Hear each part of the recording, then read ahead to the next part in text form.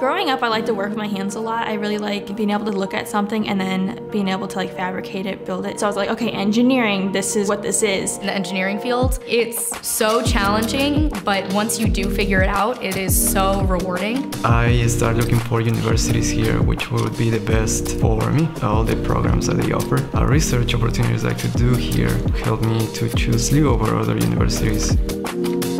I know in a lot of different schools, the engineering programs, everyone's kind of competitive, but here it's like everyone's on your side. I don't think I would have been able to get through it if it hadn't been for that. All those classes, they sound hard. The way that the professors teach you, the teamwork that you have with your uh, classmates, you are able to solve the problems. It's kind of smaller environment. Everyone seems so friendly. I loved the campus. I think it's a beautiful campus too, like right in the city. I've appreciated how much attention has been put into just my well-being as a student. It's wonderful. The community is really tight-knit.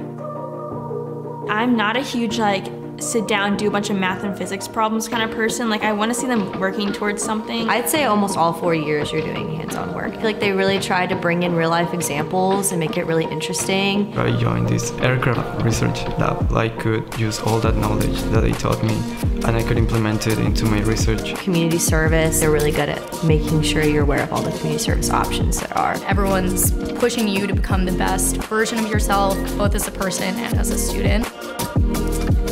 At SLU, they really want you to be well-rounded. You're at college to explore your interests, and I may be an aerospace engineering major, but I'm an American Studies minor. SLU is that one special place that you can kind of do what you want to do. That holistic learning will really carry on and be really beneficial to the rest of my life. I have an internship with Panasonic. I've been offered a position after school. I think I'm very much prepared to take on whatever within engineering. I really want to work on like big projects. And I had a couple mentors along the way too with Boeing and NASA. This place makes me feel like I'm going to get all the one-on-one -on -one attention I need. Start my career path from day one at SLU.